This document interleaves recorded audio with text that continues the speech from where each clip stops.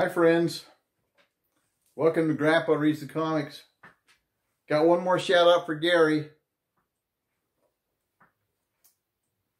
Thanks for watching. Uh, in today's episode of Dennis the Menace, Mom is in uh, the, by the mirror putting her makeup on.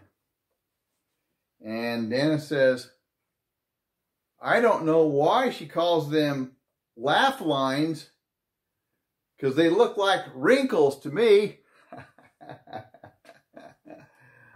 laugh lines could be wrinkles, couldn't they? Yeah. Hey, the word I have for today is prepare.